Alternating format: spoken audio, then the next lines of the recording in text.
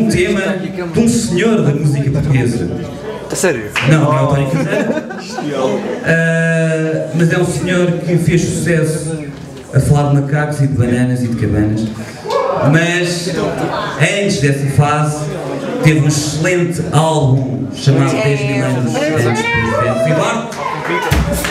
Já agora vai dar um concerto com esse concerto, com este concerto, dia 11 de Abril com esse álbum. E recomendo a todos que vão, eu vou.